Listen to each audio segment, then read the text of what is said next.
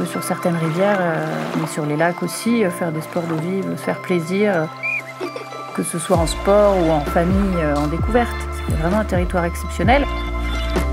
On n'est jamais très loin d'un lac. C'est un peu la piscine accessible qui fait beau.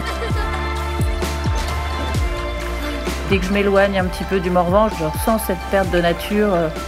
On sent qu'il y a une ressource naturelle et un petit trésor à préserver dans ce Morvan-là.